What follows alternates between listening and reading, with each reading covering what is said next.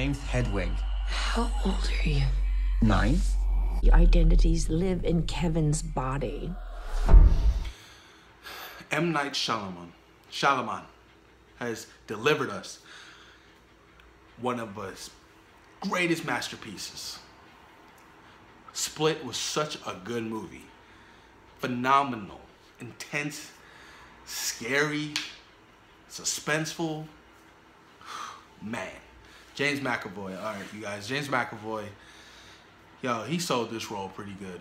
I mean, it's time that we start, you know, really recognizing this man's talent. I will say this. He is this generation's Marlon Brando. Yes, I said I'm probably gonna get some hate for it, but what? I don't care. He was a phenomenal actor in this movie and his previous movies as well. His ability to, you know, really dive deep into his characters, use his emotion to bring out the full effect of each character he ever plays, is just really inspiring. James McAvoy, you are amazing. So, this is spoilers. So, if you guys haven't seen this movie, please go see the movie, then come back and watch my video. But yes, Split. Split. Crazy movie. James McAvoy's character, Kevin, right, has 23 personalities. 23. Now, they don't show you all 23 in the movie. They show you about four of them. Maybe even five. But let me tell you, each personality is fucking crazy.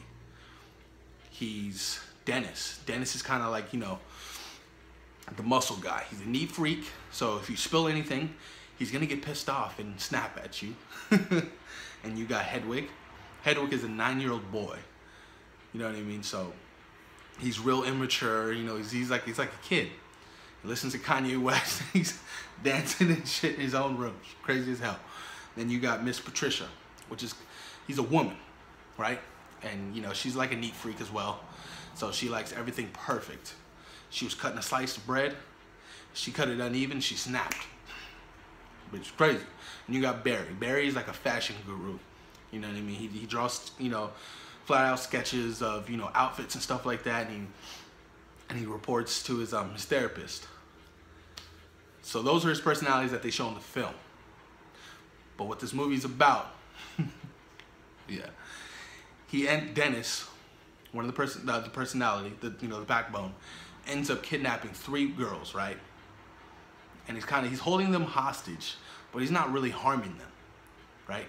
He's, he's waiting for this opportunity to show his 24th personality, which is the personality you really don't want to be involved with. That personality is called the Beast. Scary as hell. Also, he, he suffers from, uh, I think it's called DID. DID, that, that's his disorder. You know what I mean? I, I guess it's a personality defect or disorder or you have multiple personalities and you really can't control, you know, what each personality does. So, saying that, every time he comes into the room, you know, like in different occasions, he's a different person. You know what I'm saying? So like, he'll, be, he'll come into the room as Dennis, and the girls would just be terrified because Dennis, you know, he's he's a mean guy. You know what I mean? Or he'll come into the room as fucking Hedwig, you know, and one of the girls, I think her name's Carrie. Think her name's Carrie, not too sure. But she she was probably she was a quiet one in the film, the, the more relatable one with, you know, with Hedwig, you know what I mean? She she didn't lose her shit when all this shit was happening cuz unfortunately, she was molested as a child, her father died. She was molested by her uncle who continuously molested her after he took her in. So, yeah, so she's had a rough life. So she didn't really go batshit crazy. She didn't you know what I mean, flip out too much. She was like, let's stay calm, cool, collected. Let's think this out. Let's see what can happen. Or we don't know what's going to happen right now. So that happens, right? And, you know, story evolves a little bit. and um, Barry starts sending um, his therapist, I forgot her name, sorry. He starts sending, um, um, her, you know, his therapist, you know, these emails of like urgent, urgent meetings, you know, or un, unscheduled meetings. Like, I need to see you right now it's urgent. So he'll come by, you know what I'm saying, and he'll talk to her. And, you know, he's very flamboyant because, you know, he's in the fashion and I believe he's gay as well. So, you know, beyond that, um, his therapist starts to pretty much, you know, really wonder what's going on with him because, you know, he's coming by with all these unscheduled visits. So she's like, yo, is everything okay? And she wants to dive deep into, you know, more of his different personalities. So she finally gets Dennis out of him. Woo! Dennis is fucking, this is Dennis. Let me show you Dennis.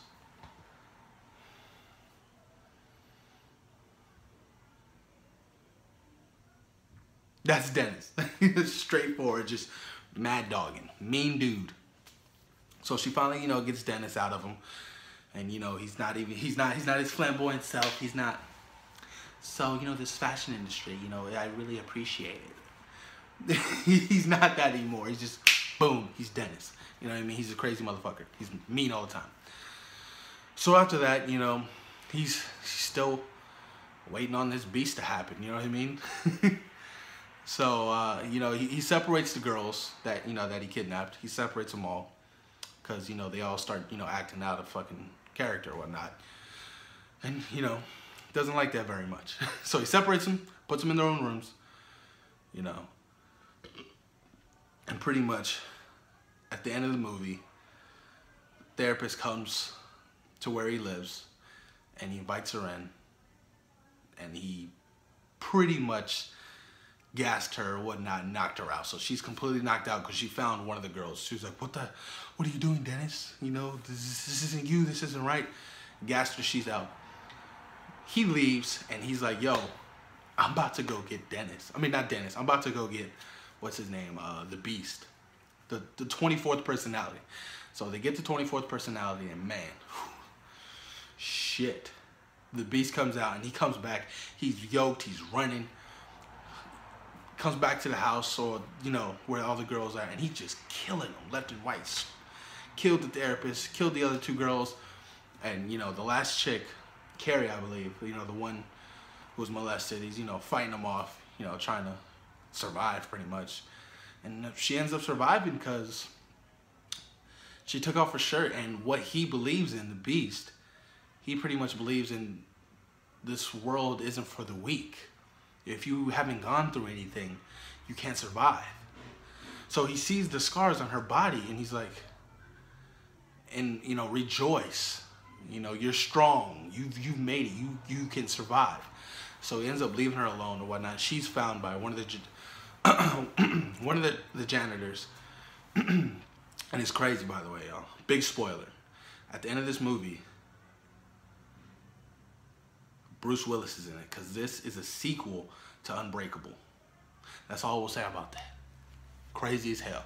But yes, I rate this movie a 9 out of 10. Phenomenal movie. M. Night Shyamalan is back. Previous films were kind of struggling, but he's back, you guys.